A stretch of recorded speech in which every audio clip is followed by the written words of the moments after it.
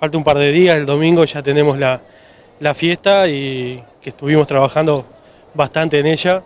Y sí, es el quinto año que lo hacemos y está organizada para el comienzo a las 2 de la, a las 2 de la tarde, a las 14 horas, de 14 a 17, tal vez se extiende un poquito más.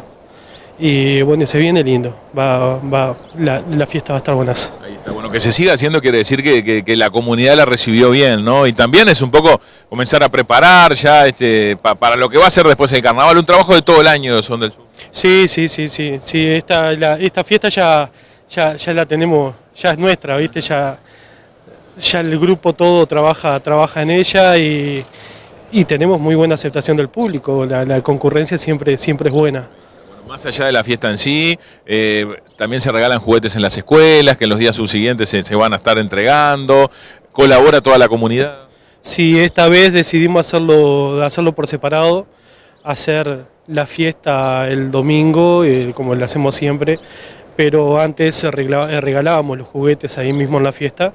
Esta vez pensamos hacerlo, decidimos hacerlo de otra manera, hacer la campaña del juguete para colaborar con las escuelas, las escuelas rurales, pensamos esta vez.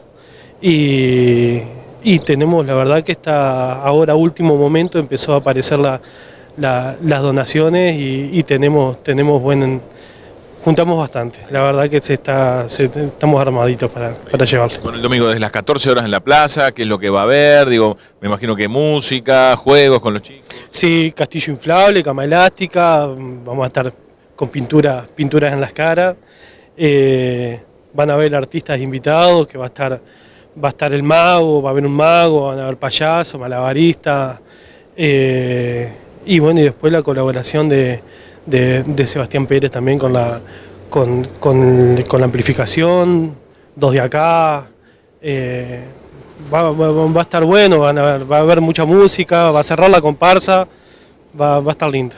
Y entrada libre y gratuita, abierto para que todos puedan participar. Sí, sí, y los clásicos regalitos del final, que, que van a haber juguetes para repartir con los gurises. Bueno, muchas gracias y bueno, invitar a la gente el domingo desde las 12 en la plaza. Sí, son todos bienvenidos, así que esperamos que, que la concurrencia sea la de los años anteriores y, y muchos más.